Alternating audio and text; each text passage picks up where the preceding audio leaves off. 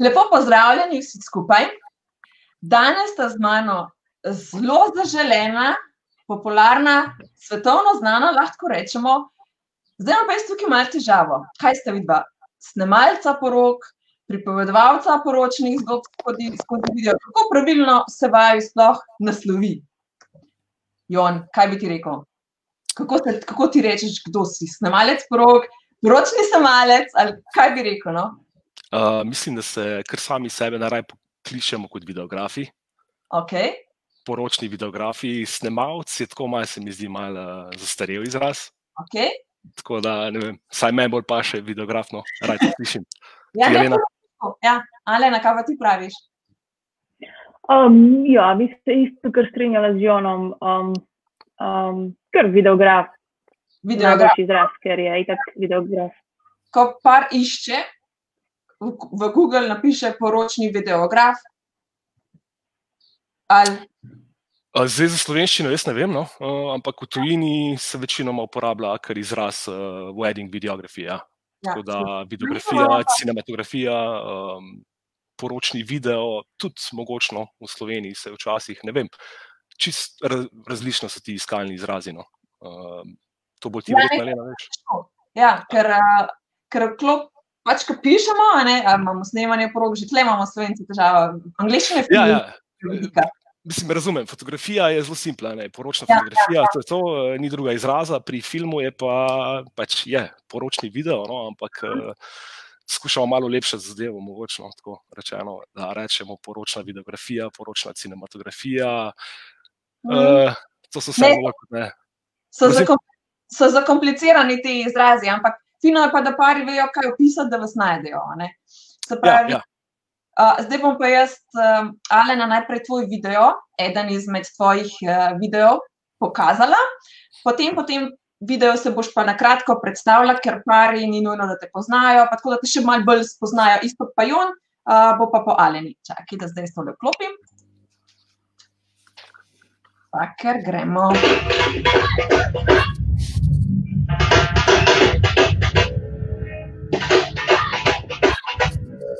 We were just kids when we fell in love. And from that moment on,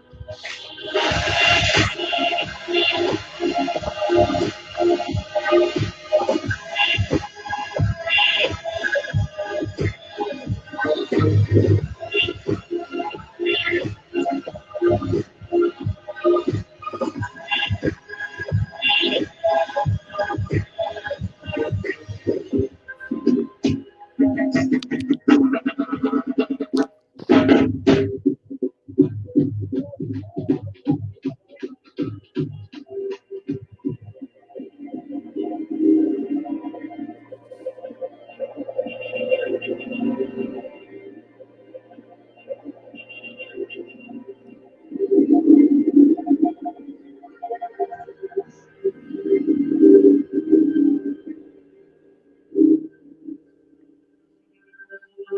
allow me to be exactly who I'm meant to be without any hesitation. I love that most of our days are filled with laughter and silliness. But that I always know that I have a safe place in your embrace. you captivated me with your beautiful eyes, motivated me with your vision for our life, and always supported me when I needed a hand to hold. Look at one another and remember this moment in time. The words you will say are a promise of your love. They will make permanent your commitment and unite you as husband and wife. I have fallen in love with you over and over again. Are my closest friend, my favorite person,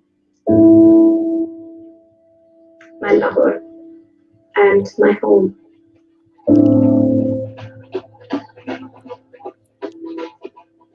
Starting today, I promise to hold your heart tenderly and protect it fiercely.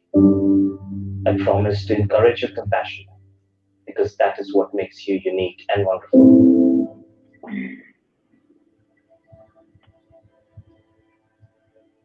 I promise to nurture your dreams because through them your spirit flies.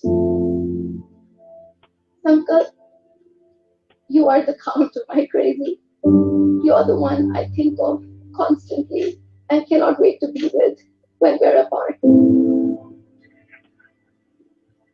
I choose you for all of my yesterdays, my today, and all the future days to come.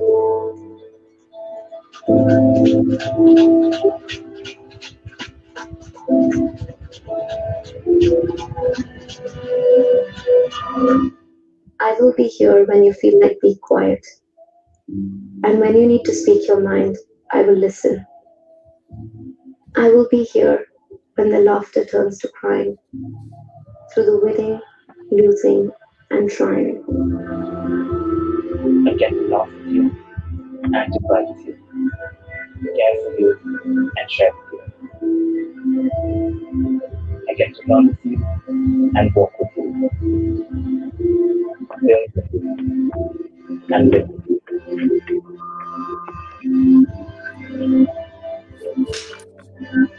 When I really think about it, spending forever with you just doesn't seem like it's going to be long.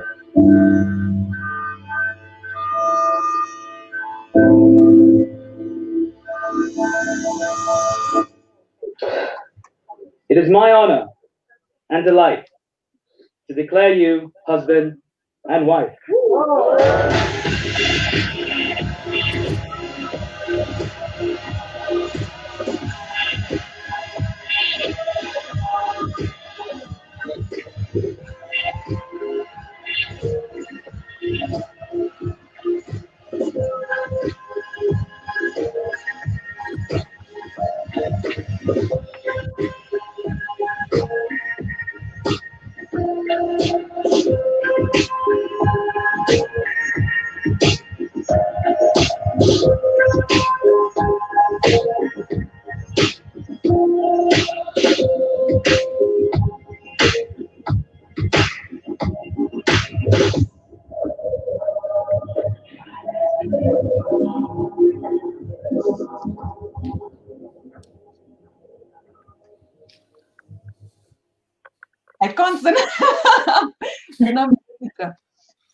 Ja, sem videla, da ste malo zmedeli, tista črnina. Ja, ja, sorry, sorry, nisem zanalaš. Ne, okay. Evo, zdaj pa Alena, predstavi se. Ja, um, sem Alena, uh, poročna videografinja, uh, skrivam se za brand imenom Fragments Collection. Um, izra, iz, po, po, ponudila sem malo drugačen um, naziv uh, svoje poročne videografije, ker nekako sem želela, da uh, zelo dobro predstavlja to, kar delam.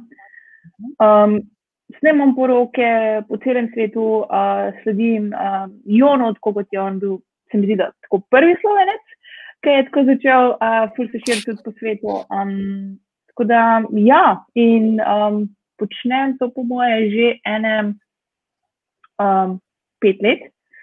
Um, in ne vem, všeč mi je, um, zelo se najdem v tem. Um, všeč mi je, da se lahko izražam nekako, oziroma izražam svoj, svoj perspektivo, kako vidim uh, kakšne zgodbe, uh, ljudje, kako se na posebne načine povezujejo uh, in da to lahko nekako preslikam v film, pač mi je to zelo, zelo, zelo všeč. Um, ja, tako na kratko. Super. Jon, zdaj pa tvoje. Ja. A lahko? Ja, seveda, Evo, seveda. ena izmed.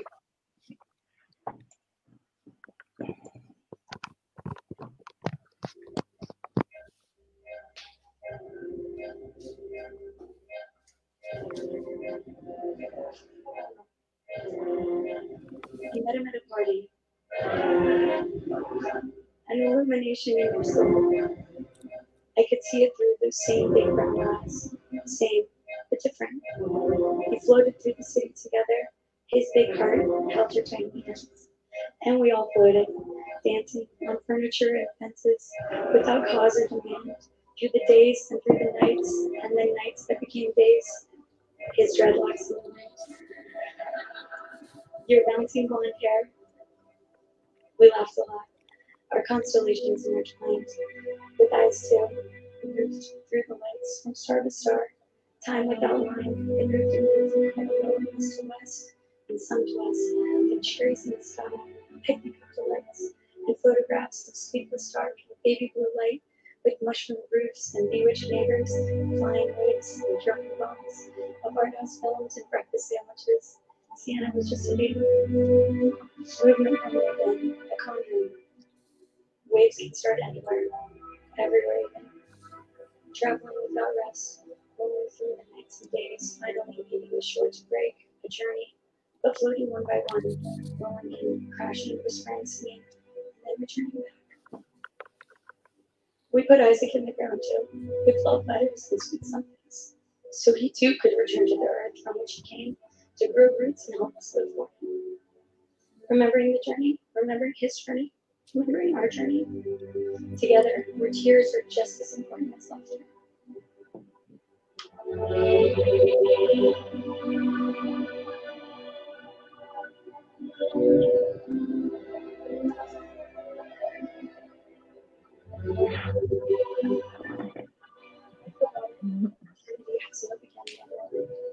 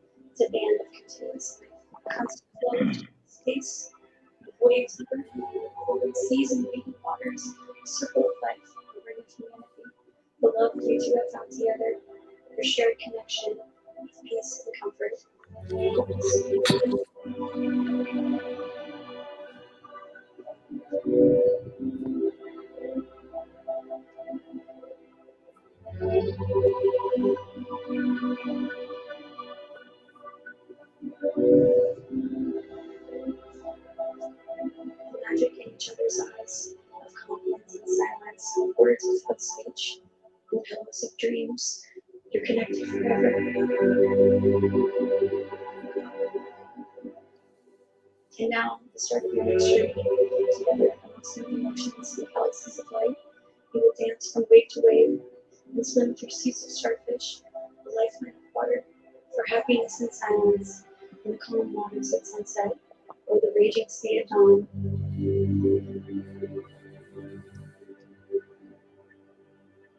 Rocky shores or pebble rivers, all the water is connected. We too will forever be connected.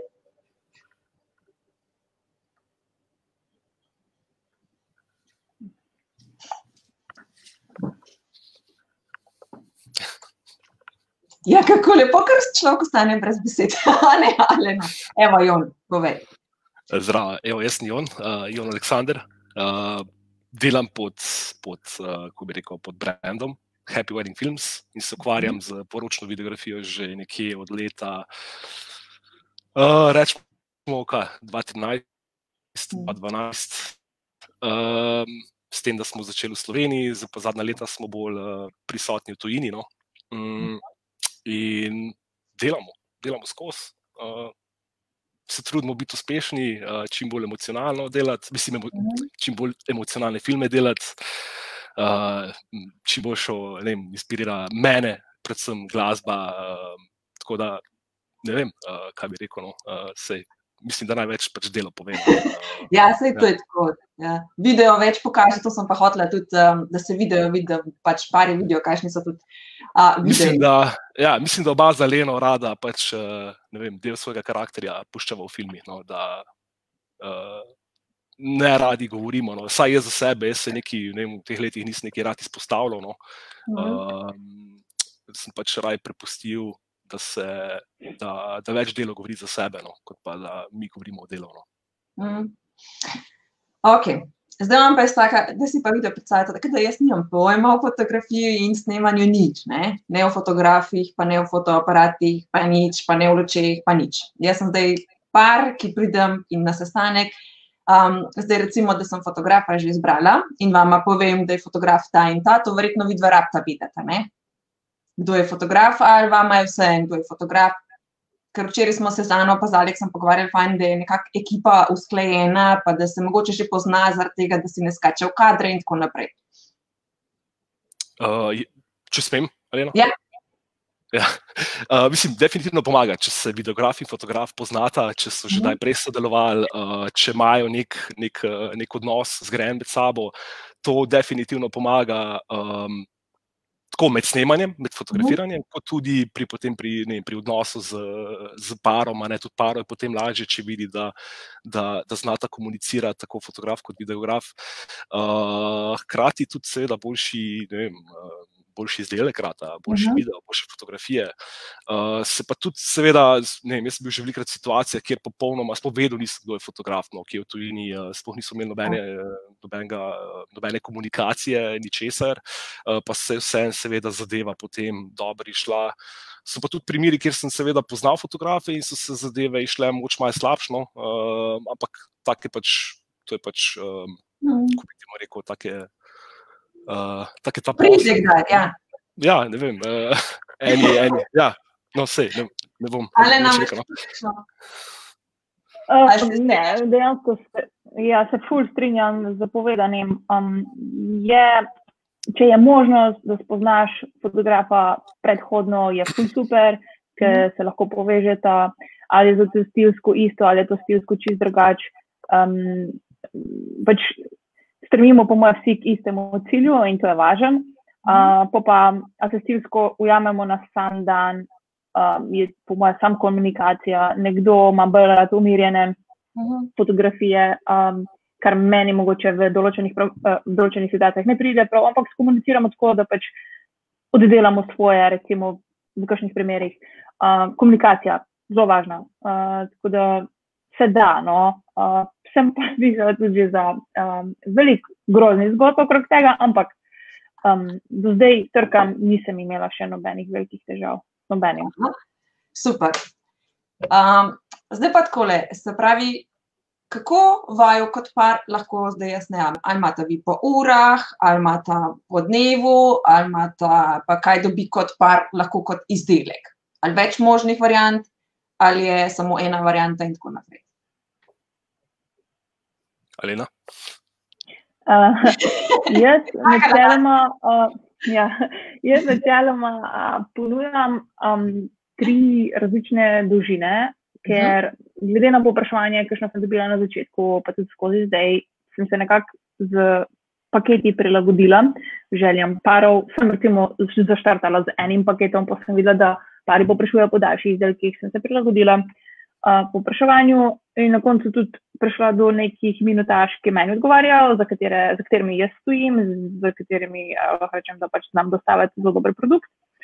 Um, tako da imam tri različne pakete, tri različne dolžine, um, tako da vsak par lahko po želji gre pa nekje ne vem, od uh, 3 pa vse do 25 minut. Recimo. Um, kar se tiče ur, sem se pa jaz v, v, v tej, tem času, odkar snemam poroke, znašla v situacijah, ki sem videla, da ali sem prisotna uh, 8 ur ali 12 ur, pri meni ni bilo tako velike razlike, kakšen material sem jaz prenesla uh, po urah, uh -huh. po uh, količini domov. Uh, in nisem hotla nikoli nekako zgrešiti določenih momentov. Zato sem, um, recimo, ja, valjda sem na koncu omejena na neke določene ure, Ni, nisem zdaj po uh, 20 ur na poroki, ne, normalne ure to, ampak um, nisem pa omejena, če pride par do mene z, ne vem, z 12 urami, pa si mogoče želi 14, pa se pol omejuje, pa pol gleda, kdaj me bo začel um, mucati, ne. Uh, bi jaz raj, jaz sem raj, pač gledam to tako, raj ujamem še predhodne tiste priprave, kakšne kolikor pa, da mi ta material zmanjka, uh, zgolj za moj končni produkt. Uh -huh. bolj rada to delam, čisto. Tako da jaz tako delam. Uh -huh. Jon? Ja, um, to, kar je v bistvu Elena rekla, no, uh, mislim, da je zelo pomembno na obema, oba dva, v tem principu, v tem vidiku isto delava, da raj se komitamo za poroko za cel dan. Uh -huh. Um, tudi meni, recimo, jaz nikoli nisem delal ne, samo šest ur, samo, ne moramo delati kot, kot fotografi. No. Uh, ta naš stil filmov zahteva, da smo mi v bistvu prisotni od, od priprav, od začetka priprav. Ali to pri nas je to, da moč malo mal prej že ob 10, 12, v tujini je to, da je tudi kasneje. Ampak mislim, da je 10, 12 ur uh, prisotnosti skoraj tisto. Minimalno no, uh, zahtevano, da res narediš potem en dober dokument, en dober dokumentarc, dober film o poroki.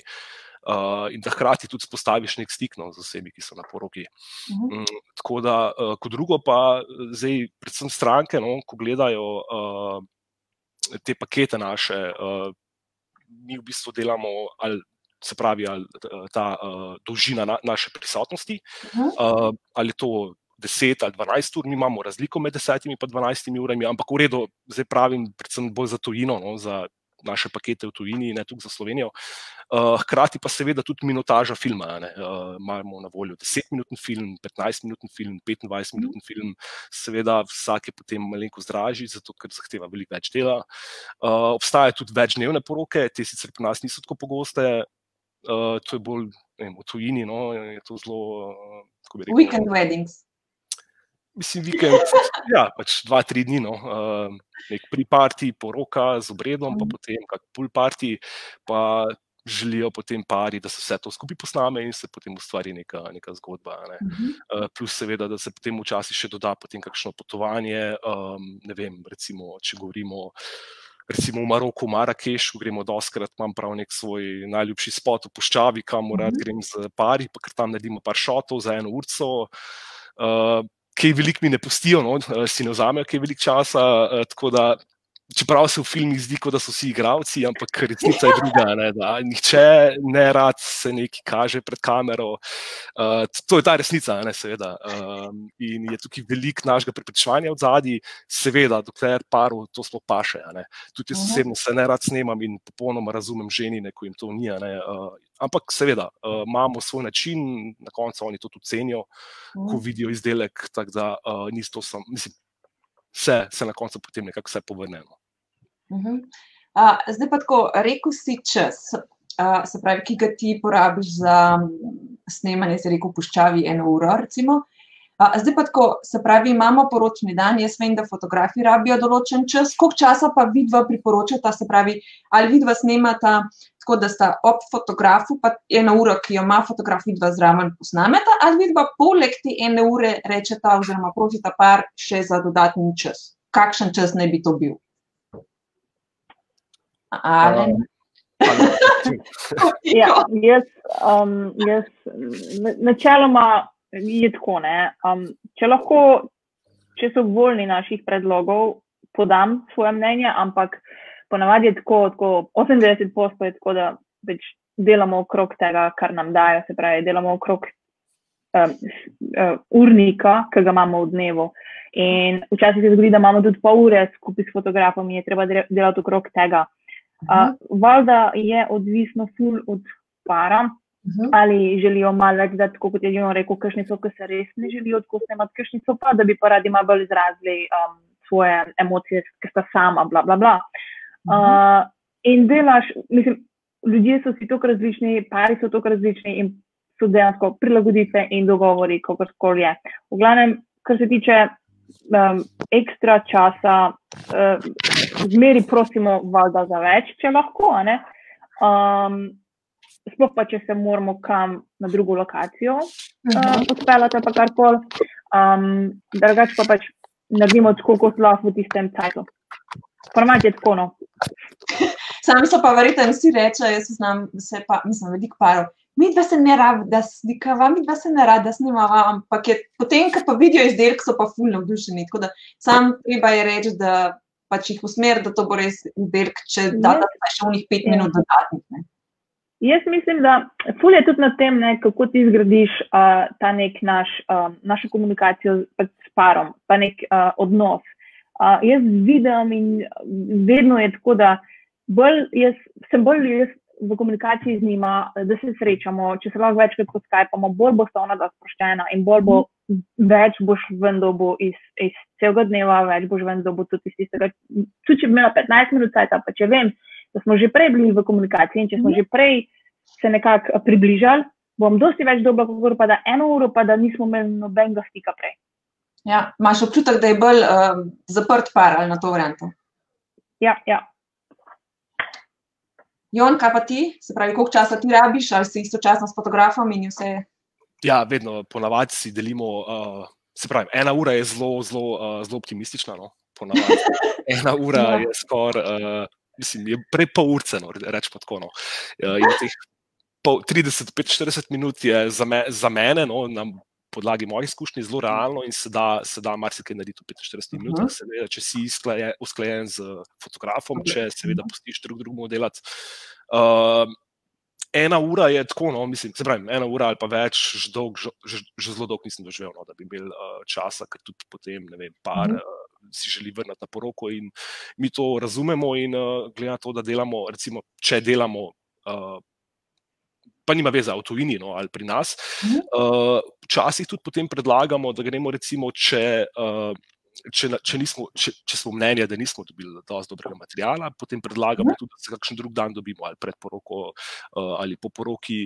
Uh, to v zadnje čase ogromno priporočamo, zato ker um, se mi zdi, da je zadnje čase trend porok takšen, da se stvari zelo, zelo v detalje definirajo, kar se tiče urnikov, schedula in vsega, in na koncu res zmanjka časa za marsikaj. Uh, in ne, mi smo pač pripravljeni potem reči, da uh, se ni problema, če želite, lahko potem še seveda tudi jutri nekaj posnamemo. Ne?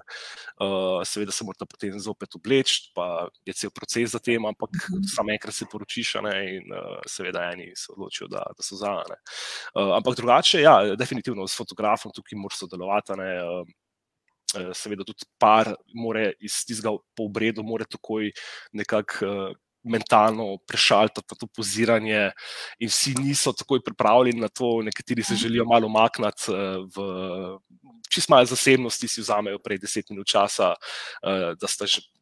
Eh, ženi in ne veste, sama, ne, da se malo pogovorite, ker ste se ravno kar poročila. Uh, in definitivno pomaga to. No. Uh, ker znajo biti ti šutingi, uh, mislim, govorim realno, no, znajo biti tempirani. No. Uh, ampak mi se pač trudimo, da, da je zadeva čim bolj organična, no. da, je čim bolj, uh, da je čim bolj sproščeno vse skupaj. Uh, ampak, uh, ja. Hmm.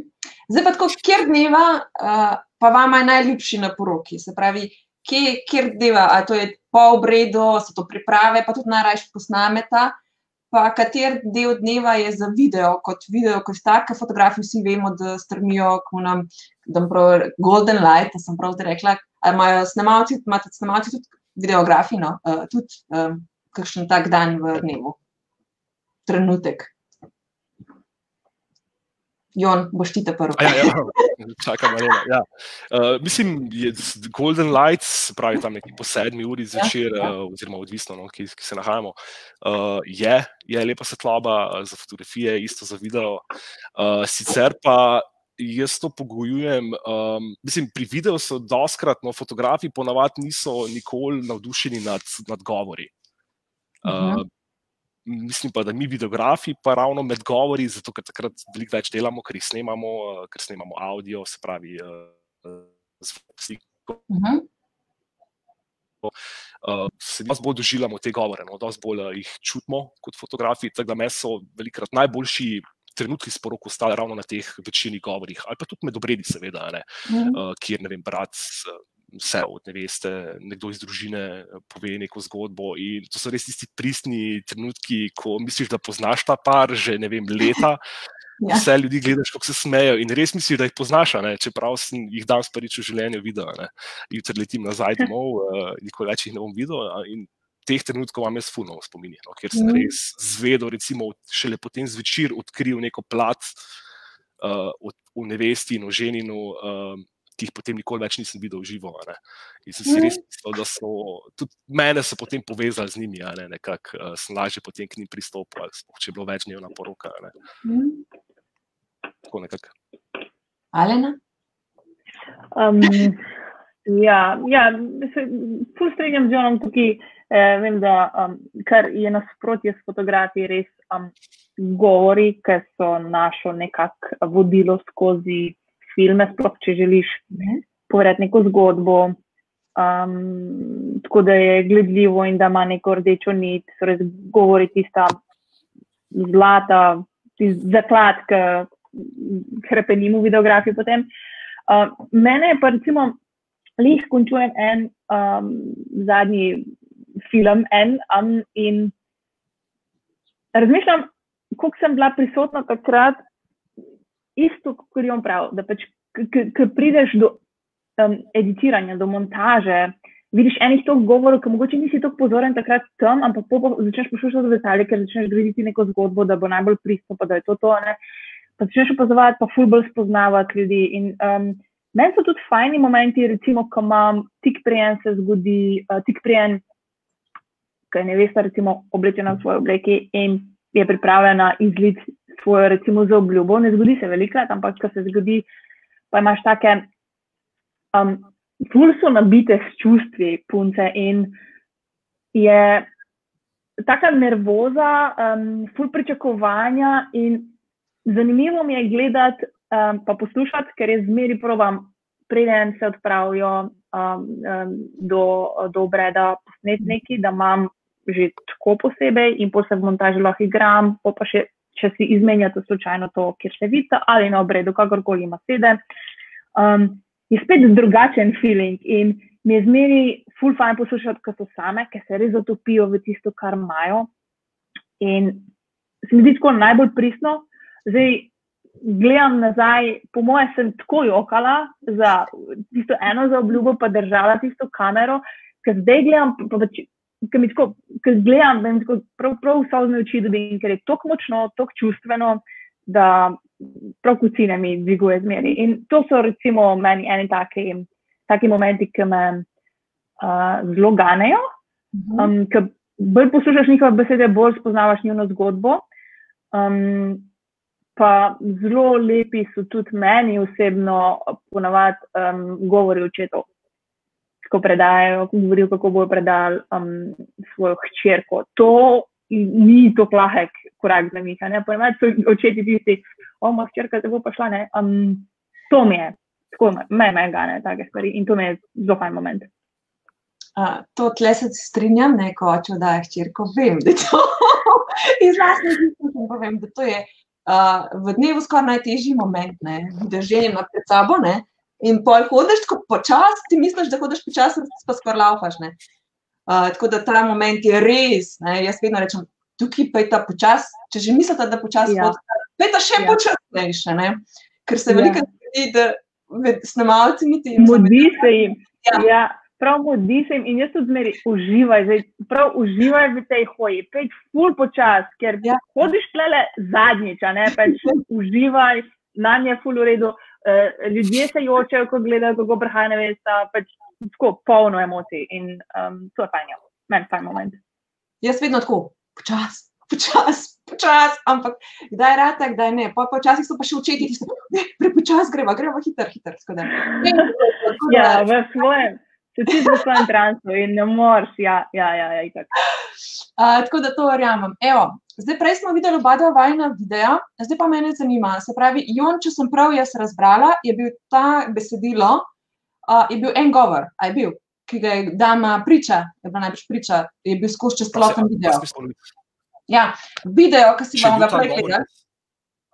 Me slišiš, Jon? Prosti, če smo zamika, imam za audio. Ja, se slišimo? Ja, me, jaz te slišim. Uh, prosti, ja, malo je zamika med audiom in med videom. Je, okay, ja, uh, se pravi, ja. Uh, v tem filmu, ja, um, to je bil od sestre, od uh, neveste govor. Uh. -huh. Uh, Čisto spontano, se, tako kot je Elena pravila. Počasi še le potem, ko, uh, ko gledaš, komentiraš te posnetke, še le vidiš, da, neki, da si ujel en govor, govor ki je res, res huda ne? in je lahko tista rdeča nit za cel film. No? Čeprav za ta govor sem že tam na poroki vedel, da okay, to bomo uporabili, uh, ker je res je vzela čas, počasi govorila, cela dvorana je bila tiha uh, jokali so vsi, jaz, uh, moja punca, ko me je takrat asistirala, je bila sicer takrat zelo resna, ne, ko je delala, ne, jaz sem bil sozen, pa nisem pogosto sozen, res. Uh, ta celo vzdušje, ki je ona. Ha? Kaj? Uh, Ne, mi Fajn, da ti Ja, si Joko. nisem joko, uh, bil sem, res, bil sem pa, bil sem malo sozno, malo, ja. Ne, um, in ja, to je ta sestra povedala, se je bil ful dolgi govor, no, sem ga mogel dosti skrajšati. Uh, pa, ne, govorila je tako, da si sproti izmišljuje stvari, no, tako čist eh, ležerno je, je pripovedovala. Um, ampak res super, super. No. In še enkrat ponavljam, da Pristno, nam, iz srca. Sej to je, po moje, res najbolj, kar je lahko. Ja, besede, a veš, mi lahko, mi lahko kot snemalci, mi lahko marsikaj ujamemo. Mi lahko uh, sliko ustvarjamo, uh, naredimo super sliko, golden hour shooting, marsikaj. Ne moramo pa prisiliti ljudi, da govorijo. Uh, za govor, da, da ti nek govor poveš, uh, je potrebna, seveda, priprava, moč vedeti, kaj boš povedal.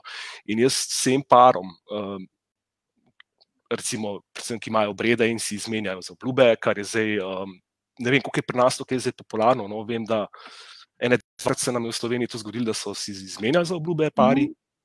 Uh, jaz sem vedno polagal na srce vsem, da, da si naj vzamejo čas, napišejo govor, da si izmenjajo neke besede, uh, ker teh besed ne moreš, ne moreš potem na poroki ustvariti. ne, In uh, besede dajo največ filmov. Mhm. Kaj pa glasba, ki si jo uporabil, je bila ta iz poroke ali jo ti potem naknadno zbereš ali na polno pa še tisto? Glasbo vedno sami izbiramo, glasbo Mhm. vedno izbiramo, potem uh, je vse procesno, pač koliko, mislim, procesno, bolj uh, naše, moje počutje. No. Kako se počutim, takrat, ko montiram film. No. Uh, čeprav skušam, uh, skušam uh, da, ja, se ne res. uh, definitivno glasbo mi vedno izbiramo. Uh, zdaj, včasih, seveda, se zgodi potem, uh, da kakšnemu paru, ne naša izbira, moja izbira glasbe ni všeč.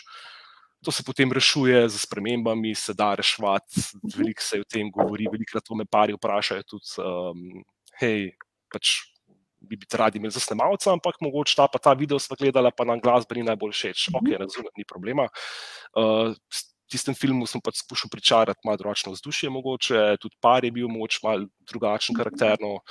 Um, da glasba se vedno nekako, vedno seveda mi izbiramo glasbo, uh, seveda pa kasneje tudi daj, potem popravljamo to našo izbiro, ne, če uh, seveda paru ne sede, zato, mislim, še vseeno je to izdelek, ki ga bodo oni gledali 10, 15, 20, eh, 20 let, uh, potem podali svojim sinovom, vnukom.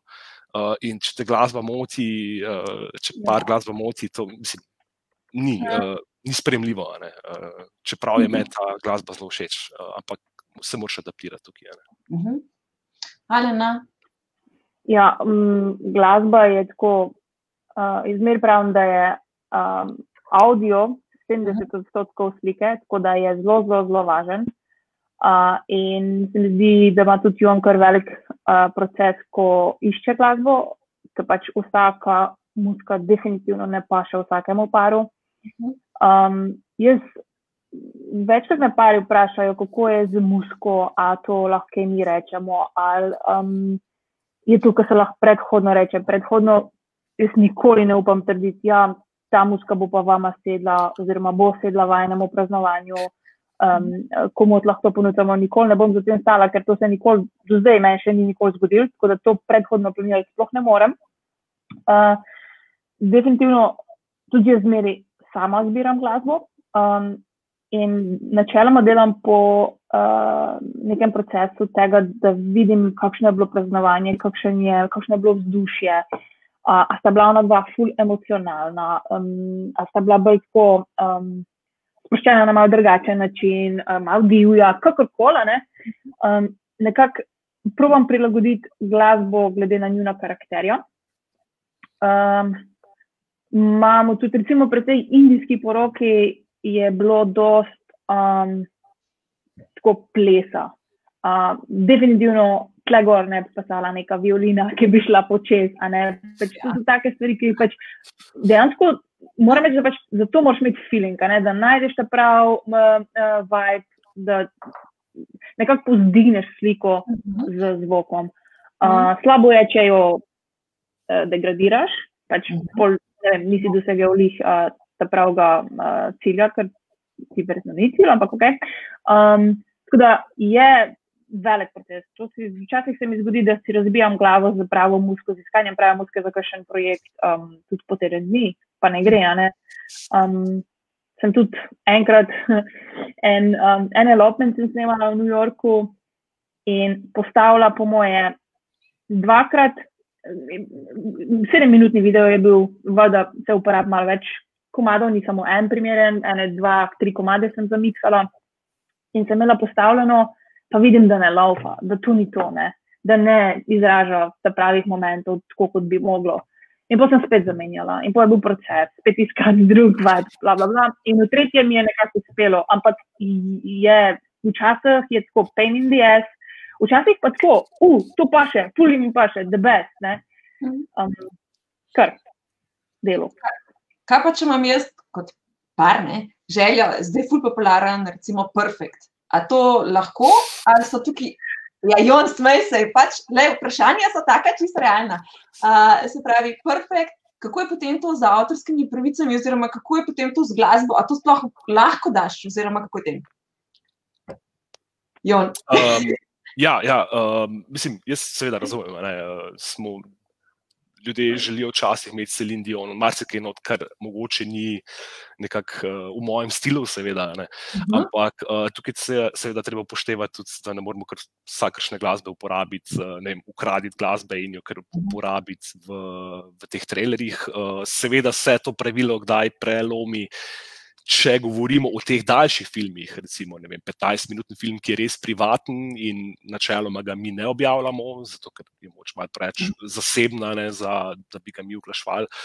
Um, tam, seveda, se da malo to upognati, pa če si to res želi, če to res ustraja, se načeloma lahko karkoli uporabijo, ker koši fazi je to res čist njihov privatni izdelek. Um, ampak seveda, jaz nisem najbolj vesel, kadar dobivam specifične prošle, glede zaradi tega, ne? ker potem uh, me postavlja v situacijo, kjer uh, bi potem, ne vem, v bistvu. Pari mi velikokrat pošljajo kar z YouTube linke in kar da je to noter prosti, tega ne morem narediti. Ne. Um, Dajmo nek kompromis ustvariti, pa se potem začnemo pogovarjati, kaj je narobe, uh, ali so določeni inštrumenti ali je prepočasna glasba. Pa si potem vzamemo čas, pa najdemo neko alternativo. Ne. Um, si, si, ponavadi je sam problem, da je mogoče uh, glasba prepočasna, uh, ali je mogoče malo preveč vse skupaj melanholično, ali je mogoče vse skupaj. Uh, uh, žalostno na trenutke, tako da se potem to rešuje z nekimi moč malo bolj upbeat uh, komadi, z um, moč malo več podarka na, na, na, na žurki od poroke, na parti sekvenci. Uh, to se vedno da rešiti potem nekako. No. Uh mhm. -huh. Ali na kapati, isto? Ja, mm, mislim, jaz sem tudi imel že primer, uh, ko si je par zaželel Arjano. Ne? Um, nič ne rečem, zelo tak specifičen komat na takem bit. Um, jaz tudi takrat, ko mi pari govorijo, povejo, kakšno glasbo imajo radi, to tudi odraža njihov karakter, ne? tako da jih mhm. nekako tudi ti tako lahko spoznaš. In um, sem, seveda, kot ti vam pravi, sem tudi jaz rekla, se upravičujem, tega ne morem narediti, sploh ne uporabiti nekega znanega um, uh, glasbenika, ker so tukaj pravice za tem, to so uh mhm. -huh. velike založbe za tem. Um, in če to se kjerkoli, kadarkoli javno kje pojavi, imam lahko jaz težave, ne pa ne, uh -huh. ker mhm. sem pač šest na koncu producent izdelka. Uh mhm. -huh. In um, zmeri tako obrazložim, kaj je za tem. Uh, s tem pa, glede na to, da ste mi povedali, kakšna je bila želja, jaz tudi lahko bolj iščem v tem. -huh. Tudi ona se je izrazila na tak malo tak ritmičen način. Um, um, je bil bolj počasen tempo. Upoštevala sem nekako tudi njihove želje v tem smislu in videla, v katero zvrst tudi jaz lahko gremo. In smo na koncu naredili full, full fine projekt, uh, full fine izdelek, um, zadovoljna in pač to je to. Zdaj pa, ko jaz za fotografije, se mi malo bolj svita kot za video. Kako je tukaj? A tukaj govorimo lahko o avtorskih pravicah, koliko lahko par, ko dobi enkrat link ali ko dobi celoten posnetek, kaj lahko on dela s tem, ali lahko sploh ne, vajo ne navede, ali vajo more, oziroma ima to že v samem videu, prej sem gledal, da noter je. Kako je s tem? Uh, prosti, navaja v kakšnem smislu? Uh, če, tako da mora točno ja, navesti Jon, Aleksandr Krančan. Ne, jaz te, tega ne zahtevam. Uh, recimo, uh, lahko povem za sebe sam, jaz samo pač ne dopuščam nobenih uh, sprememb videa, ne, uh, pravi barnih. Uh, Montažerski sprememb filma, lahko seveda oni to potem privatelajo, si, lahko si razmontirajo filme, kako želijo. Uh, sam recimo mojega obstoječega produkta z mojo odjavno in začetno špico, uh Mhm. -huh. pač seveda ne dopuščam, da zdaj oni spremenjajo, pa da dajo svojo musko od spodja. Okay. Lahko si daš, kadarkoli tvoj, se, mislim, oni so kupili ta film, lahko uh, delajo z njim, kar želijo, ampak ne želim pa seveda, da se potem da to na, vem, na, na Facebook, pa se potem mene podpiše, pa uh, glizer tega, ne, da, da ne bi zdaj neke druge muske noter dal, uh, pa bi potem jaz nek copyright claim uh, dobil. Um, Drugač pa tukaj ni, teh, tukaj s tem nimamo nekih težav, načeloma se mi zdi, da to ni v tem nikoli, nisem niti debatiral z nikomer. Um, to se mi zdi, da so malo bolj fotografi težave s tem, kjer uh -huh. uh, mogoče nekdo vzame fotografijo, jo malenko spremeni in zgleda čist drugače in si potem, uh, ne vem, ni v stilu tega fotografa mogoče, uh -huh. uh, pa zna biti za koga moteče mogoče. Uh, pri videu pa tega ni no, načeloma, ker je video tako bolj kompleksna stvar, da moš ti cel video z audijem, z glasbo vzeti in potem uh, ne moš spreminjati kaj veliko. Uh, uh. Se pravi, nimam pa jaz nobenih uh, zahtev, da morajo mene potem objaviti, ne, ali mislim, umeniti, kako koli. Uh, to pa ne, če prav razumem vprašanje. Ja, ja, ja. ja. ja. No, tudi jaz, dosti jih to. Pač, uh, kakšna reprodukcija filma, pač valjda ne, zatem ne stojimo. Um, um, to pa je to, dejansko je on povzel čisto vse. Uh -huh. Mislim, mogoče pa samo zato, ker vi imate že v sami špici ali pa na koncu že vaš logo ali pa to se že točno vidi, da, da je to praktično vaše delo. Ko fotografi pa včasih nimajo res tega logotipa ali pa karkoli, ne, mogoče že sami iz tega vidika. Se pravi, a pa ko jaz dobim vajen video, jaz lahko recimo pošljem ga posod, kamor želim, ali vaja moram obvestiti. Film je vaš, tako da uh, mislim, jaz še celo pomagam pri skrbim, da vem, pač damo vsi seveda neke linke, da lahko potem to šeraš, te filme uh -huh. privatno, javno, uh, da lahko z družino deliš, da si jih lahko dol potegneš, tudi uh -huh. neka navodila zraven dobijo, kako lahko potem to uh, srnjujejo te posnetke. Uh, tudi nek arhiv jim nudimo, ponavadi, ne vem, do dve, tri leta, uh, če slučajno izgubijo te posnetke, ker uh, doskrat skak računalnik je crkne, crti disk uh, se uniči, pa potem moramo še enkrat pošljemo zadeve. Tako da jaz imam arhive zelo za ene pet let nazaj, se mi zdi, za vsak slučaj še eno, uh, čeprav se že kar nabira tega. No. Uh, bi bilo treba malo. Ja. Uh, drugače pa ne, tukaj ni nobenih omejitev. Um, mi smo ponavadi veseli, da se te zadeve šerajo, da se delijo z družino. Doskrat tudi potem od staršev, recimo, dobim. Uh, Zadnji sem dobil v francoščini en e-mail, ga sploh nisem razumel, sploh nisem vedel, kdo mi je poslal. Smo ga dali v Google Translate, pa sem potem uh, videl priimek, pa sem ugotovil, da ja. ne veste priimek, pa sem potem na WhatsApp pisal. Poprašati, kdo mi to piše, ne? pa je rekla, moja mama je se ti zahvalila. Ja. Pa sploh nisem vedel, kdo je, ne? samo v francoščini imel je bil. In, uh, in ja, seveda je rekla, da je pač uh, celi družini poslala film, ne so si ga vsi ogledali. To, ja. Ali na boš kaj dodala? Um, ne, mislim, zelo redo povzel, um, uh, kar se teh videov, sharinga in tiče. Tudi uh, jaz delam na tem, da imajo um, na voljo uh, do. Uradno do enega leta, karkoli, tudi kar, kakšne koli želje z surovim materialom, ker tudi nudim kakšne dodatne stvari, če bi želela ohraniti cel obred, govore, nudim različne stvari, ker pari tudi mogoče niso na samem dnevu že tako pripričani, ali pa tudi predhodno niso pripričani, a jim je dovolj samo ta paket, ki ga imajo, ali bi želeli daljšo verzijo. Tako da nudim tudi kakšne koli dodatne stvari. Uh, uradno hranjam ja, do enega leta, zaenkrat trkam, imam še odskos vse. Se mi je pa tudi zgodilo, lih pred kratkim, da mi je pisala ena navesta, da um, ima je šel računalnik, uh, ne najde USB-ja in sem dobila mail. Tako da, hvala Bogu, hranim vse in ja, sta lahko še dobila vse tudi skrb nazaj. Ok, zdaj to smo šli zdaj malo obdelati. A, a vidva lahko rečete, če vaju kdo vpraša, kakšen stil snemanja se pravi pa imata, ali tukaj ni stila, ali kako bi to rekel, sam poročno. Jon že miga. Ne, mislim, iščem odgovor, študiram. Jaz, jaz nimam, mogoče bo Alena znala to boš govoriti. Vem. eh. Fotografi imajo si reportažni, tak in tak.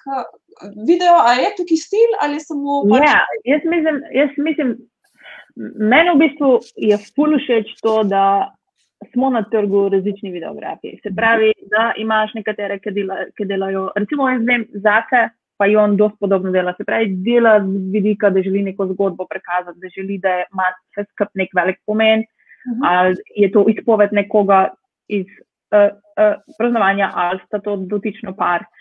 Pa imaš pa tudi druge, ki pa delajo bolj uh, vse skup na mal bolj zapakirano po muski.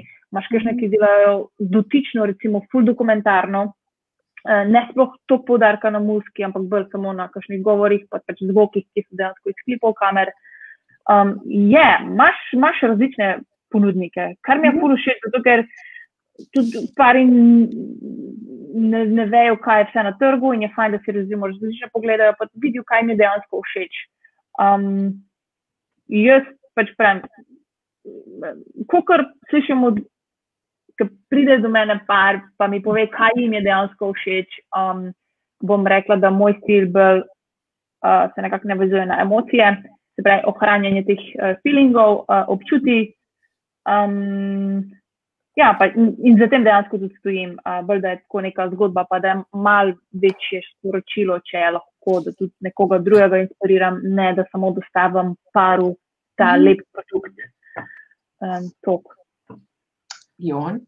Ja, ne, eh, se strinjam, ja, absolutno, absolutno. Eh, Mislim, težko je tukaj govoriti zdaj. Uh, Ne uporabljamo zdaj besed, da bi, da bi predalčkali uh, različne stile videografije, ker načeloma vsak video je dokumentaren. Uh, vsi videografi, mislim, že poroka sama po sebi je takšen dogodek, da moraš biti dokumentaren uh, videograf ali fotograf. Uh, seveda imajo pa eni več podarka ja, na glasbi, eni več na storytellingu, eni več na emocijah, eni so bolj veseli, eni bolj žalostni, mislim, žalostni, moč pa bolj počasni videografi.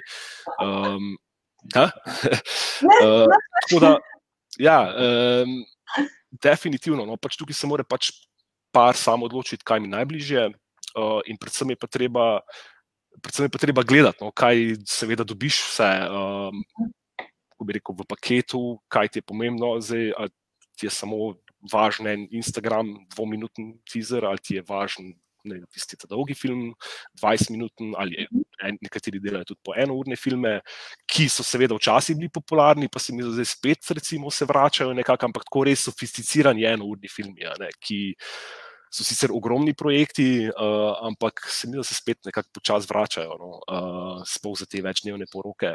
Tako da par mora samo oceniti, kaj jim pomeni, a ne, um, kaj, si, kaj si želite od tega filma. Uh, ni, tr- mislim, Je pa, pardon, da te zmotim tukaj. Recimo, glede dolžin in tega, se mi zdi, da tudi včasih pari sploh ne vejo, kaj je mogoče. Ne? Zdaj, lahko mi dva govoriva o, jaz zase vem, da bom um, iz trodnevne, iz trodnevnega poročnega praznovanja ali dvodnevnega, pač vikend praznovanja, uh -huh. lahko naredila do 30 minut produkt, tako kot ga jaz naredim. a Ne? Ker je bolj na um, tem nekem flowu, da gre čez, eh, da, da, da mine dejansko kot pet minut. Um, Kakšne pari bi pa recimo ne vejo, koliko je enih stvari za tem in koliko je tudi dejansko od samega poročnega dneva um, odvisno, kaj ti lahko na koncu sproduciraš. Ne, če nimaš recimo, uh, ne govorim, da ni, ne vrti se vse okrog govora, ampak nasplošno do dogajanja od poroke, ne, uh, kako pol pelješ to, da ne rata pri deseti minuti dolg sajt, ne, in nam to cilj. Uh, pač, da je vse tako lepo gledljivo, tralala in uh, v tem smislu tudi jaz večkrat povem parom, č- če ne vem, ciljajo zdaj na nek full dolg produkt, recimo, da bi bilo to eno uro, uh, sem jaz tudi tako, da jih malo ne izob, pač informiram, kaj je mogoče, kaj ni mogoče, da nimajo prevelikih pričakovanj, da bi bili na koncu razočarani, če je to nek res konkreten projekt ne? in je ful odvisno od uh, poročnega dneva, od planiranega poročnega dneva in kako bo dogajanje dejansko. Mm. Upam, da nisem preveč zakomplicirala te zadeve. No, Meni je vse jasno. Ne, A, ne, pravilno, ja. Sej, recimo, za, neke, za 12-urno poroko, recimo, nekje 10 do 15 minutni film bi skoraj mogel biti tisto, mislim, je popolnoma izvedljiva. ne. mhm. Uh, zdaj, jaz osebno imam, čeprav tudi 120 minut se da narediti, zdaj karkoli več kot 20 minut, recimo, je pa že včasih malo težko. No, ampak spet odvisno od poroke, od tipa poroke, kaj vse se dogaja, kako je program sestavljen. Kuk, recimo, je par nam posvetil časa, si privoščil časa za šutinge, za, vem, za kakšno Mhm. izmenjavo, za obljubo ali kaj odgovorov, od obreda, veliko varira tega. No. Uh, velike tukaj variacije. No. Uh, je pa treba seveda povedati to, no, da velikrat, in mislim, da tudi Alena uh, se bo strinjala s tem, da večinoma nas pari, ki nas seveda blokirajo, ki se obrnejo na nas in potem snemamo poroke, se na nas obračajo na podlagi teh trailerjev, ki, ki ste jih prej pokazali na začetku. Uh, ampak na koncu, uh, po poroki, potem ko zaključimo celoten projekt, uh, je pa najvažnejši vsaj meni se zdi, no, na podlagi feedbacka jim je pa najvažneje, največ pusti pečata, uh, potem ti ta dolgi filmi, no, ti 15, 20, 25, 30 minutni filmi, um, zato ker. Uh, te filme, uh, v teh filmih je dosti več družine, daljši govori so in uh, so, ma, mislim, so veliko bolj pristni. No. S tistimi mm. filmi najbolj podoživijo poroko, ne, ne skozi te kratke 3, 4, 5 minutne trailerje. Uh, tako nekako. Mm. To mislim, Alena, da si prej, sicer ne vem, če si slišala, se, kaj si rekla, ne? ampak jaz sem te slišala. Uh, se pravi, če sem te prav razumela, ne? Uh, ko ti gledaš video, se pravi svoj poročen video, ne sme biti tisto, kar si prej rekel 30 minut za 5 minut, uh, da boš ti rekel, mami je dolg. Ne? Se pravi, mora res lepo teči, ali pa tisto, olej, to je že brez veze, jaz ne morem več to gledati. Ne? Se pravi, imam občutek, da imate vi kar full dela s to postprodukcijo, da res naredite tako, uh, se pravi, da video lepo teče, ne? da ni tizga, uf, da se pa že tole Tako, malo leče. ja. Jaz mislim, da je tako največ dela, je, mislim, tako gledano, poročen dan je tako, po mojem, 10% od Mhm. vsega, kar imamo pol dejansko. Ne. Um, tako da ja, eh, ful, ful, tako je, ful lahko greš, ful lahko za J, pod narekovaj, v Ja. postprodukciji, a pa res narediš ful dober izdelek. Um, Mhm. Voda je tudi odvisno, kakšen material imaš, seveda moraš biti, um, z- moraš po kilometrini tudi znaš prijeti kakšno situacijo, znaš ujeti ta pravi moment. Zgodi se, da kaj fališ, seveda.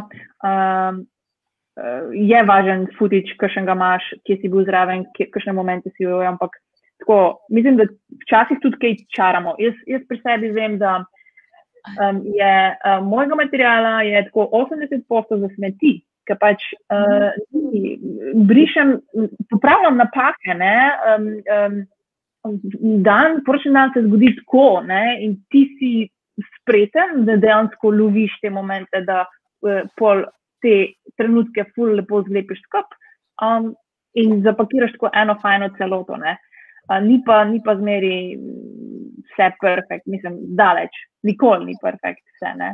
Še zmeri, zdaj, ko gledam kakšen koli produkt nazaj, rečem, jo, lahko bi to tako, lahko bi to tako, lahko bi to tako boš, ko bi bolj, bolj uh, prišlo to do izraza. To je zmeri. Ampak ja, uh, meni men je uh, zmeri dober feedback, ki ti, ki ti ljudje rečejo, ko gledajo recimo 25 minut film, pa rečejo, o moj bog, to je bilo kar 5 minut, to je tako minilo. Ne? Se pravi, motor je človek padel, viduje, začutuje uh, in to je zelo dober feedback. Mhm. Jon bi kaj dodal? Ne, ni potrebe. Je povedala. Okay. Zdaj pa tako, koliko vas je na dan poroke, se pravi, uh, pri paru, ali sta to sama, prej sta že nekaj v ekipi govorila, koliko približno je to oseb? Alena? Um, čisto, okay, no, z- standard nekje, recimo. A ja, prosti. Ne, prosti. ne, ne, ne, jaz, jaz zmeri delam v paru, je bilo to vprašanje. Ne? Ja, ja, ja. ja. Ja, ja. Jaz zmeri delam, uh, mislim, se je zgodil, kdaj, da sem bila čisto sama, recimo za kakšen uh, elopement, se pravi, tam, kjer je par sam. Ampak zmeri, um, tudi moje pakete zapakiram tako, da smo zmeri dva videografa. Um, tako da se nekako, če so priprave ločeno, si razdelimo delo, en spremlja, ne vem, drugi spremlja ženina. te detajle. Uh, lahko se včasih več ne zgodi, včasih se fuz zgodi in je fajn, da si pripravljen in zraven. Um, tako da delam v zmeri v duetu. So pa tudi kakšne velike, velike, velike poroke, govorimo jaz, mislim, jaz zmeri predlagam, če je poroka 170 plus ljudi, predlagam tretjega uh, videografa. Uh, že z vidika tega, da pač nekako pravimo uloviti vse obraze. Um, da recimo, če je praznovanje 170 ljudi, že vem, da bo tudi velika poroka, ker se bo malo več stvari dogajalo, lahko pričakujem pri taki množici, da bojo govori uh, in da tudi lahko zgodbo malo boljše peleš vse skozi v postprodukciji. Um, mm. Jon, tebi? Uh, ja, se strinjam. Isto, dva sta minimum za video. Uh, za tak video, kot mi delamo, sta dva minimum za te standardne poroke, kjer je recimo 100 do 150 ljudi. Uh, tudi če je 50 ljudi ali pa tudi če je samo elopement, še vedno je sostrajen, da so vsaj dva. Um, Včasih tudi mogoče kakšen dodaten, če je, če je ne vem, če pač scenarij za poroko zahteva to, uh, ja, da se kaj ja. posebnega dogaja. Uh, so pa seveda tudi neke večje poroke, kjer ja, nas je potem uh, več. Uh, Mhm. Ker nas je pač treba. Ne? Ampak uh, dva sta potrebna pri videu, predvsem zato, zato ker je treba, seveda, loviti uh, video iz dveh kadrov, vsaj iz dveh kadrov, prej, prej bi rekel iz treh kadrov, vsaj obred, Mhm. recimo, je ponovadi iz treh kamer posnet. Uh, treba je audio loviti zraven, um, treba je kar nekaj upreme, sem pa tja nositi. No? Uh, tako da, um, da bi sam snimal, kar sem že sicer, no? da bi sam snimal poroko, je kar, je kar naporno. No? Je kar, uh, fotografirati je veliko lažje, fotografiraš lahko sam, uh, seveda. Potem žrtvuješ to, da ne moreš biti na, e, ne moreš biti na dveh mestih hkrati, uh, pri videu pa že že tistih določenih osnovnih stvari ne moreš sa, posneti, uh, če si sama ne, in rabiš Mhm. pa, pač še enega asistenta zraven. Absolutno. Da. Mislim, da tudi, uh, pardon, ko prekinjam, tudi mislim, da tudi tako ful odvisno, recimo, uh, glede na stil, ne, kakšen stil na koncu, oziroma kakšne izdelke delaš v, z videom. Ne. Zdaj, če bi spet se bom vrnila na tisto, če bi um, eh, na koncu zapakirala paket, um, momente z glasbo, brez kakšnih dodatnih audio vložkov, je po mojem en videograf čisto dost. Ne. Uh, jaz se ful bolj počutim, da sem še z enim tam, da imamo večjo kontrolo nad celotnim obredom uh, in ja, ne si več dovolj, da bi bila sama, ker um, želiš imeti kvaliteten audio, želiš imeti več različnih kadrov um, iz večjih kotov, uh, ker ti pol tudi pušča ful, ful več možnosti v postprodukciji in to slaže in lepše izpade na koncu. A se vama sicer mudi, eno uro že klepetamo, jaz pa še puno vprašanj. ja, a, ne, veš kaj, jaz sem tako na sestankih, pol hiter gre čas, ne se pravi, mi gremo. Um, zdaj tako, a se vama mudi, če ne bomo zaključili, pa se zdaj dobili, Jon se tudi mudi. Ne, me se ne mudi, eh, Ne. nimam, uh, ni poroke, uh, ni uh, karantena, se še vedno se mi dogaja. tako Da, En dan je dolg, ne. A, Zdaj pa tako, a, prej si Jon že malo navrgel, kakšna je pa to oprema? Zdaj pari meni, tako Jon snemalca, pa ne bi imel kot uno, ne, una kamera pa to, ne. Še, uno, to, še vedno je tisti feeling v ozadju, no, ne, se se mi mogoče zdaj vidva malo smejita, ampak Ja, ne, ne, ne, un feeling ozadju. Ljudje dejansko, res ljudje dejansko ne vejo, ker pač nimajo izkušenj. Lahko, da so bili kje prisotni na kakšni poroki, pa so videli tudi kakšnega takega kamermana, ničim ni za zamer, ampak uh, ljudje ne vejo še, kaj je, kaj, kaj se v današnjem cajtu s kakšnimi napravami se snema in jih je treba sigurno malo um, informirati. Uh, jaz načeloma, mislim, da tudi Jon še Sony, Sony snema, um, brezrcalni fotoaparat uh, za dejansko za namene snemanj, a uh. Meni zadovoljivo sliko prinese. Uh, načeloma delam zmeri s tremi, če lahko štirimi kamerami, fotoaparati kamerami uh, na poročni dan. Um, mogoče, kar se zdi me, meni osebno že tako, da ful preveč spadljivo izpade, je, ko imam um, gimbal, se pravi stvar, ki stabilizira kamero. In si si malo okrog, ja, in si si malo okrog opletam. Um, si pa želim tako nenormalno ful biti tako neopadljiva. Zato so ti tam mali aparati ful super. Uh, večkrat me zamenjajo za fotografa in hočejo tako, da me sliki, da me sliki. To se ful nasmeje, ker to so najboljši momenti, ki jih dobiš, ki se ti tako nastavijo in porečem, da ti snemam in pol tako, a ja, ok, in pol buta si spademo, ker je tako smešno in pristno, da je zelo fajn. Um, ja, to pa, pa audio prema.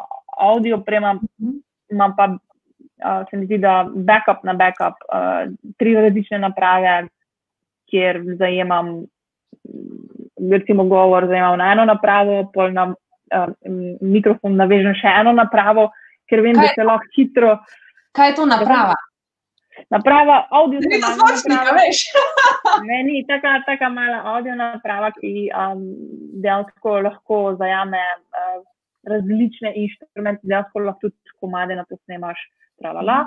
In ponavadi se z DJ-jem ali pa z nekom, ki kontrolira audio stvari, povežem, um, zategneva kabel, da imam to pod kontrolo. Uh, To včasih se zna zgoditi, da to ni čist zanesljivo, zato raj vidim, da imam še en vir um, in uh, povežem en tako, tak, en tak svinčnik, malo bolj debelejši napravo, dam še na uh, mikrofon uh, za backup, uh -huh. ker nikoli ne veš.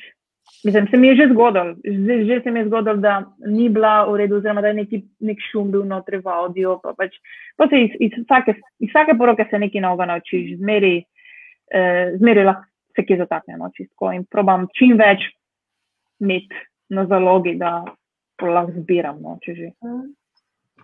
Jon, še ti imaš kakšno dodatno, poleg fotoaparata? Ne, ne, v bistvu je naša oprema ista kot jo imajo fotografi, uh, skoraj ni razlike, tudi mene stalno zamešajo s fotografom uh, stojijo na miru in me gledajo v kamero in jaz, hej, guys, iz video, uh, ah, iz video, ok, ok, in pa, pa začnejo plesati, pa se premikati. Um, oprema ni, ni, ni za to, ja, več teh starih kamer. To mislim, da smo že mimo tega, um, že kar nekaj leta, ne, uh, mimo teh nekih starih, ogromnih kamer, uh, ja. se ljudje bojijo, da bodo sred tam obreda stala. Um, seveda, zdaj, uh, vedno se splača vprašati, seveda, videografa, kakšno. Ne, uh, opremo. Zdaj, če, zelo, če se bo zelo izpostavilo s to opremo, ja, uh, če jih že zanima, no, načeloma pa to nekaj ve zanima. No, načeloma skušamo biti kako bi rekel, moderni videografi, mm -hmm. skušamo biti čim bolj um, low profile, um, ja. čim bolj, mm. da nismo na potu. Nepadljivi. Ja, ja, ja. Ja, da, se, ja, da ne skačemo zdaj okrog ne vem koliko. Ja. Zdaj, tako nekateri je pač. Sem imela že nekaj porok, imam za sabo. Ne, eni imajo polno, zdaj bom mogoče čisto rukan na mem za izrazom uno roko. A sem prav rekla? Ja. ja. Tiskaj kamera eh, navezana, petko neki. Kren. To, to je bilo in nekaj časa nazaj, zdaj nisem že tega videl, kar nekaj časa. No. Meni men se zdi tako, da mm, odvisno, imaš tudi kakšne produkcije, prav produkcije, uh, lahko je to TV produkcija, lahko je to neka sam XY video produkcija, ki se tudi lotijo snemanja kakšnih porok in večkrat se znaš zgoditi, da se kakšna res orang produkcija loti poroke, snemanja porok na tak način s kakšnim krenom. Ne? Ampak ja, se meni tudi zdi, da je to bilo tako včasih, da zdaj že ni več po mojem popraševanju po tem, pa takega zahtevka, ampak sigurno se pa še na kakšni poroki zgodi to, da kakšna produkcija začne tako snemati ne, in um, dela s takšno napravo. Ja, ne, ker je malo mutečno, za moje pojme je tisto malo mutečno, ampak zato pa fino, da par vpraša, kakšno oprema bo, pa kako boste muteči. Škaj, te, te roke pridejo bolj upoštevati, recimo, to je zelo popularno, kot smo v Libanonu ali pa kje v Saudski Arabiji ali pa v Dubaju, kjer imajo dosti porok znotraj hotelov, teh ogromnih hal, kjer celo halo priredijo, recimo, kot da bi nek. Kot da bi kaj, se ne vem, nek gospodarski sejem v Ljubljani, v, Ljubljani ja. v celoti dekoriral in pri. Uh -huh. Mali zmotni. Tam, tam uporabljajo, prosim. Ne, ne, če imaš slab internet. Sorry, ja, ja. No, tam recimo bolj te roke uporabljajo, pa že te roke ne uporabljajo več tukaj, eh, zdaj so v bistvu kar droni, zdaj so že ti droni tako ja, mali, da se ja. kar z droni leti v krok. Eh, res je, res je. No, zdaj, fajn, naslednje vprašanje je bilo, kako je z droni. Slovenija, ali nam boš povedala za Slovenijo, kako je zdaj z droni, oziroma ker in fotografije, če Petra, to je vse dovoljeno, kaj kompliciraš. A eni rečejo, Petra, se veš, kakšni so zakoni. Kako, Ja. kaj je realno? Ja. Ja, jaz um, zaenkrat ne spremljam tok, um, kar se tiče zakonov glede okrog tega, ampak um, jaz mislim, da je še zmeri tako, da uh, v mestih ni dovoljeno, da letiš, razen um, z določenimi, um, um, um, zdaj mi je šla- ušla beseda.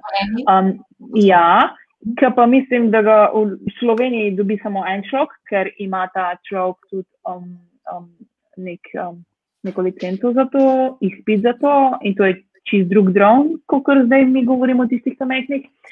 Um, jaz mislim, da uh, v takih zunanjih okoliših, uh, kjer uh, ne ogrožaš nobenega,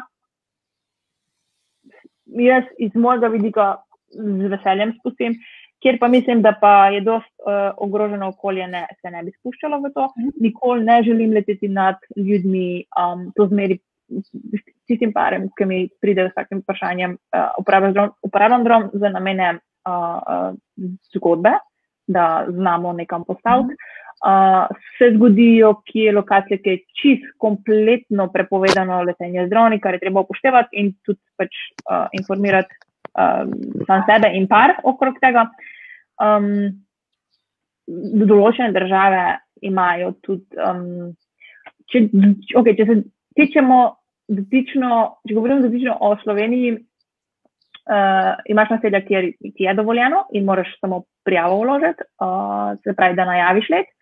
Uh, v tujini se pa dogaja to, da uh, ni prav dovoljeno, pa še motilce imajo, kar pomeni, da ti niti tega plovila ne boš uspel dvigniti.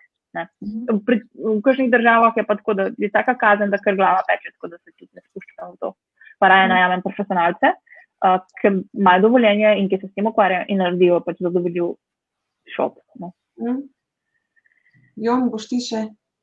Ja, um, v bistvu isto kot je Elena rekla. Zdaj za Slovenijo, jaz ne vem, kakšna je situacija zdaj z zakonodajo, ker v Sloveniji nisem snemal že ene, ne po mojem, dve leti nisem snemal skoraj nič pri nas porok in tudi drona nisem nič letel, tako da res ne vem, pa tudi, eh, po mojem, da jaz ne morem leteti, dokler nimam izpita. Uh, je pa tako, tako recimo um, tudi v tujini, recimo, ko se snema, ne, uh, zdaj, če je poroka na nekem privatnem posestvu, Mhm. uh, ni nobenega problema, načeloma. Uh, letiš v nekih mejah normale, tako ali tako je ta dron uh, v bistvu nam bolj kot pripomoček za par teh, uh, za par scen, da se film nekako uh, postavi začetne scene, uh, ni zdaj za pripovedovanje zgodbe in nihče ne želi leteti cel dan z, z dronom. Uh, je to, to je za par dodatnih kadrov. ne. Um, ne, se pravi, ne vem, kako je pri nas v tujini, pa. Pa pari pa vprašajo, ko pri nas so kar no, Slovenci bi si kar želeli imeti posnetke z dronom, no, kot imam jaz. Uh, ne, ne, se tudi v tujini vzamejo, no, ampak uh, se bolj uh, premikamo v to smer, da recimo najamemo potem tuje, eh, tu, Mhm. neke zunanje uh, te snemalce za drone. ne. Doskrat, če tudi kaj sam posnamem, če je kaj seveda manjšega, če je, uh, če je, ko bi rekel, um, če se da to na hitro narediti, ne, pa da nikogar ne ogrožam, pa da, ni, to, da ja. da se ne izpostavljam, zdaj, če smo nekje na samem, se pravi, neko privat posestvo v Italiji, ni noben problem, ne, nihče, nihče ti ne bo uh, prepovedal. Uh, recimo no, na Komskem jezeru pa imajo že, recimo je pa že tako uh, zadeva, da imajo recimo dovoljenje za snemanje samo en studio oziroma ena ekipa ima nekak monopola ne, za, za, za delati, za drone leteta. Ne. In če hočeš tam posneti na poroki, morajo oni njih najeti. a ne. Uh, in potem eno podjetje v bistvu handla vse to, a ne, vse te posnetke, kar se tiče uh, Komskega jezera. Ja, Komsko jezero, ja. Uh, sicer pa, ja, ne, tako nekako. No. Ok, zdaj pa par sta ful navdušila, a ne? Zdaj pa, kaj, kako zdaj naprej? Ok, par vam reče, super, jaz bi vaju najel za poroko. Ali zdaj tukaj podpišemo zdaj pogodbo ali kakšen depozit, pa koliko časa pa po poroki pričakuje lahko par video? Ali nam boš ti? Jaz se zmeje. Dajmo prednost. Um, uh, ja, um, če smo se ujeli, um, super. Uh, jaz zmeri pravim, da se ful rada, tudi po prvem mailu, tudi če je samo interes iz strani para, uh, da bi me najela tako, jaz zmeri pravim, da se po Skype, če so daleč, uh, da se dobiti živo, če je možno, da sploh vidimo, a so naše smernice nekako na isti poti, ne? uh, da nismo čistim z kakšnimi koli uh, stilu, uh, željami, kakorkoli. Zgodi se včasih, da izrazijo kakšne želje, ki jaz lahko rečem, ok, tega vam jaz ne znam dostaviti, poznam pa drugega videografa, ki vam bo pa to storil in priporočam drugega videografa.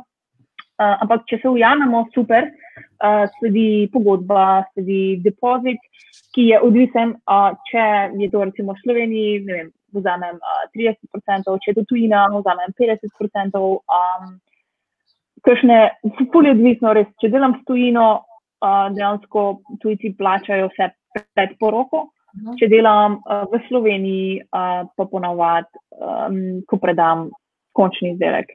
Jaz imam po pogodbi, po pogodbi imam eh, dostavo končnega izdelka tudi do uh, šest mesecev.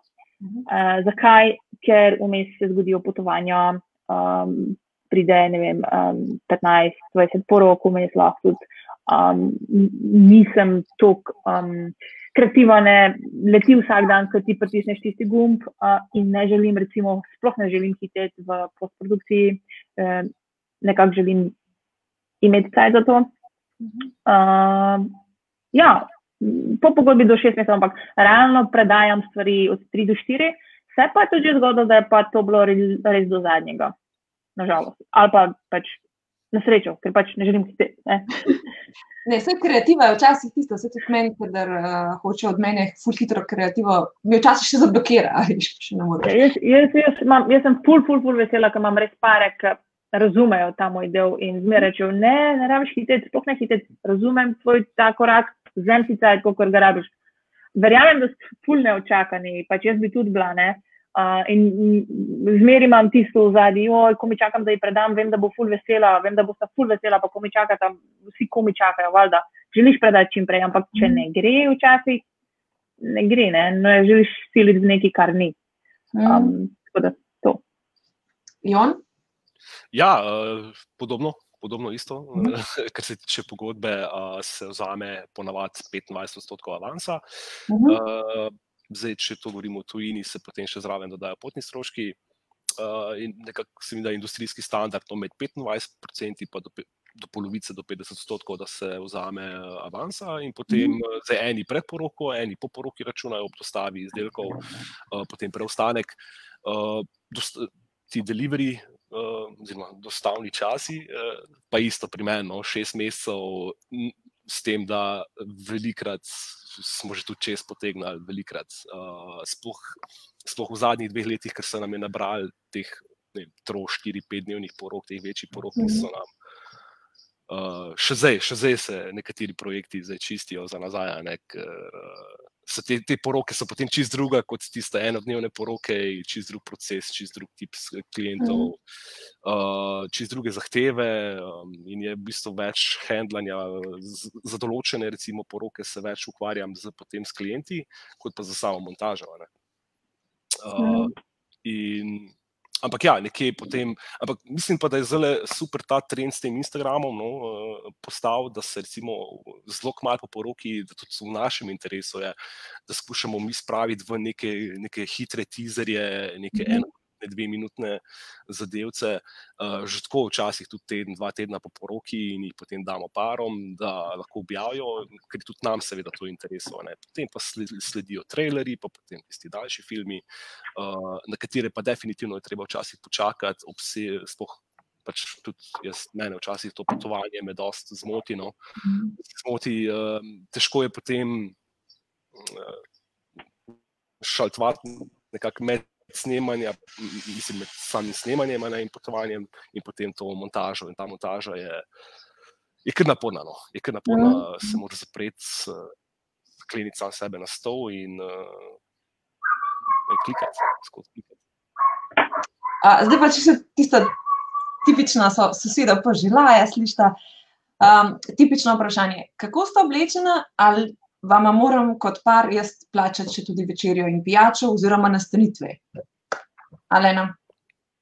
Pardon, nisem razumela vprašanja. Ja, se pravi, a vam moram jaz kot tvoji ekipi plačati tudi hrano, kako si oblečena na dan poroke, kako je z, prej si že omenila, mislim, da potne stroške in nastanitve, če bi bilo to ne vem ki. Ja, uh, ja, definitivno za, za tujino uh, se pobirajo ekstra stroški, ki nastanejo z celim potovanjem uh, uh -huh. do lokacije. Um, jaz imam recimo neko dnevnico, uh, ki si jo zaračunam, koliko gre to več dnevov in pač so cena oziroma paketi s tem tudi rastejo, valjda je to tujina, več dnevov ti zame, prikrajšam si za recimo za kakšno več, več, več dan, lahko tudi kakšno poroko na, na ta račun zgubiš, tako da cene so večje, krijejo se ti stroški. Mhm. Um, kar se tiče oblačil, vem, če sem razumela to ja. vprašanje. Um, Zdaj, jaz lahko kot par rečem, da le v kavbojkah nočem, da prideš. Ne, ne, ne. Mislim, da ne. Mislim, da je to, mislim, z moje strani je to dosti človeško, da se nek, nekako preš urejen v, a, na poročni dan, a, da nisi žih v kabojkah.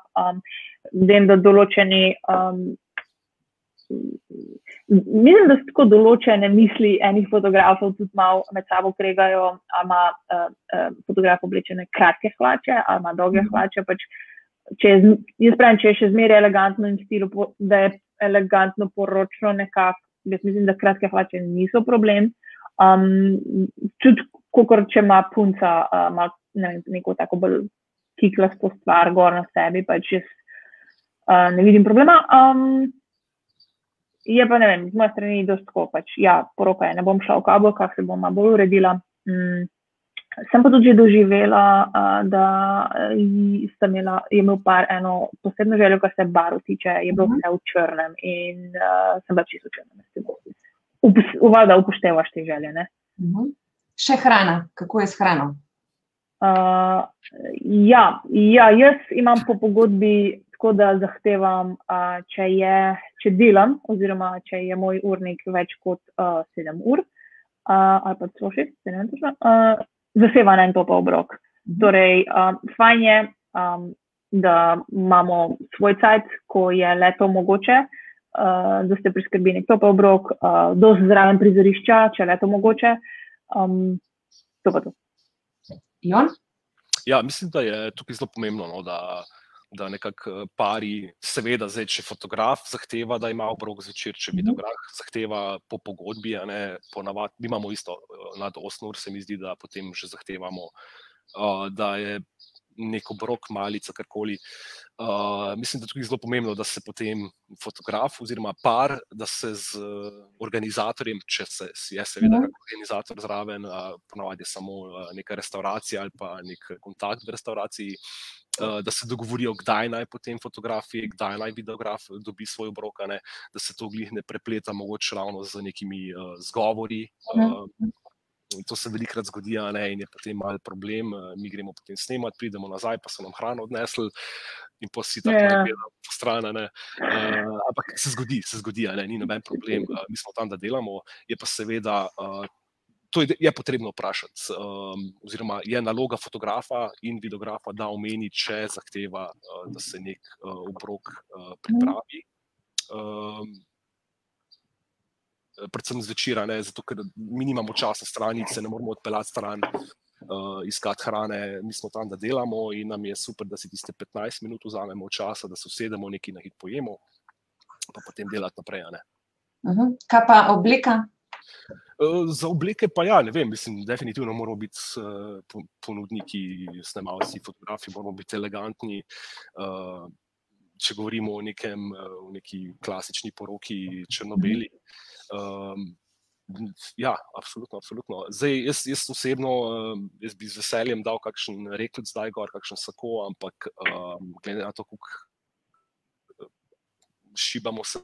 Ne, z videopremo si tega ne moremo privoščiti, ker se niti gibati ne moremo, reklico. Tako da mi ponovadi, ker v nekih srajcah pridemo. Ne, um, uh, seveda obstajajo poroke in vem, mislim, smo tudi uh, odprti Včasih so poroke, ki zahtevajo, da pridemo v nekem specifičnem dress kodu, tudi Mhm. all black, se je tudi zgodilo že all white, uh, ni noben problem, ampak seveda take stvari moraš prej povedati, uh, da se lahko potem mi pripravimo, se odzovemo na to. ne. Mm, Smo pa tudi delali že poroke čistko ležerno v kratkih hlačih, uh, tudi v majicah brez rokav, ampak seveda to so poroke, ne vem, na Balju, nekje uh, čist, uh, tako, čist a ne. Ja, ampak je sigurno par povedal, da pač bo tako relaks poroka, pa je to to. a ne. Ja. Okay, zdaj pa, da ne bomo res predolgi, zdaj pa tako. Uh, par še na koncu, pa, oziroma na začetku, je tako vprašati, če sta še vidva prosta. Tako da zdaj pa malo povejte, se pravi, a se vajo letošnjo leto, sicer zdaj ne vemo, kaj bo ne, s temi našimi porokami. Sicer ne vem, kje uh, Jon si ti trenutno, ne vem, kako imate prves, pač Slovenija zdaj, ali na se vemo, koliko je ura, ne, pri porokah v Sloveniji.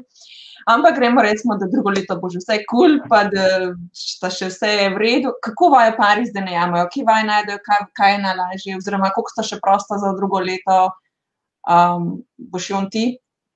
Uh, ja, lahko. Uh, ja, letos, um, ja, se pravi, jaz letos nisem imel predvidene nobene poroke v Sloveniji.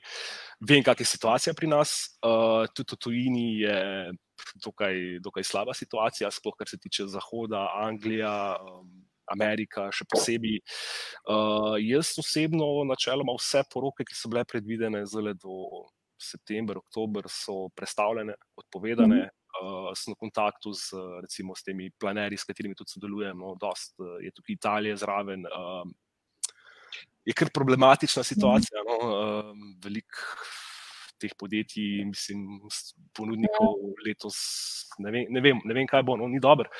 Um, se pa potem zgleda pa dobro za naslednje leto. No. Se pa datumi hitro polnijo za dva, uh, kaj smo potem, 2021. 2021. Ja, ja. Uh, in jaz tudi mislim, da v tem kaosu, ki se zdaj dogaja, da se zdaj, zdaj spet, no, uh, poroke, ki jih mi snemamo, so ponavadi uh, dogodki, ki res pač zahtevajo neki planning, ali se jih ne da zorganizirati iz danes na jutri, ali pa v enem tednu. Um, imajo vsi neke poročne organizatorje, tako kot si ti, Petra. Uh, in je tukaj vloženega ogromno dela, noter tudi nekaj ogromno, seveda, kapitala, denarja. Uh, in ta trenutek nihče ni pripravljen, uh, seveda, ko bi rekel, sprejeti tega rizika, glede na to, da ne vemo niti, kdaj bomo lahko potovali, kdaj bomo Mhm. lahko leteli spet, kdaj bodo se meje odprle. In z vsemi pari, ko sem bil zelo v kontaktu, recimo, so vsi pač rekli, da seveda bodo počakali do naslednjega leta, a ne, da se Ja. stvari malo sprostijo, da uh, tudi ni zele, recimo, ni glih tisti občutek no, najboljši za, za, za, tako, za tako zadevo, kot je poroka. No. Uh, tako da uh, jaz mislim, da naslednje leto bo pa kar gužvano, da naslednje leto bo pa kar kaos. No. Uh, se bodo vsi želeli nadoknaditi za leto še. Ne. Uh, Mhm. Porok bo ogromno, en, en baby boom bo po mojem spet, ne, 21. Ali na ti? Uh, ja, jaz, um, kaj naj rečem, uh, ni najbolj sjajno to, kar se dogaja, ampak mislim, da smo čisto vsi v tem, ful medijno, pač zelo pozitivno stvar vidim v tem, koliko se vsi ponudniki teh poročnih storitev povezujemo, oziroma koliko smo nekako delamo za skupno dobro z planerji, iščejo se drugi datumi, uh, druge opcije, več opcij, noben ne želi izgubiti dela, za kar je bil blokiran. Uh, tako da tukaj ful vidim to dobro stvar, koliko smo ratali med seboj povezani, koliko Mhm. skupaj iščemo rešitve. Um, ja, um, za letos uh, ogromno porok je šlo na drugo leto, ogromno teh majskih, uh, junijskih je šlo na poznejše mesece, ki so še zmeraj pod vprašanjem, tako da ne jemljem niti za sigurno, ker ne vemo, kaj bo.